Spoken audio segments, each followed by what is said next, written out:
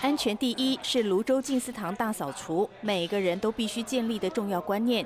因架周围有人站岗，安全帽、安全绳上下缺一不可。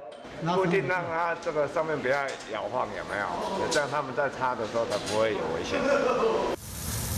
使用高压喷水设备更是要正确操作，专心清洗磨石子外墙。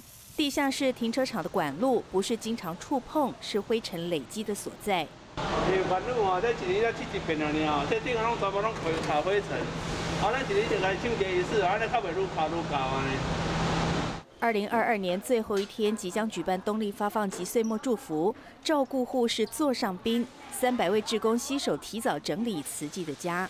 之前有参加很多次岁末祝福啊，然后觉得说那个每每次都是被别人服务，希望这一次可以先服务别人，先把我们的环境整理干净。打扫楼梯螺丝起子是法宝。这脚脚这样呢，啊，我加了七百对吧？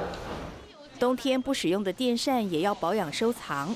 不论户外或者室内，志工们除去购会准备迎新春，也在清扫过程中为社区祝福。大爱新闻真善美职工陈美秀、王友禄、肖建志台北报道。